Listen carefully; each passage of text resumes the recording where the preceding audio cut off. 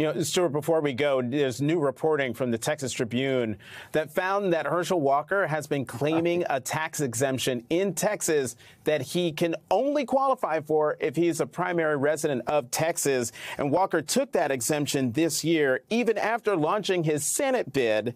Uh, MSNBC reached out for a comment, but has received no response. My question to you, Stuart, is do you think at this point of the race, that that development will have any impact, whether legally or politically, on Herschel Walker's candidacy?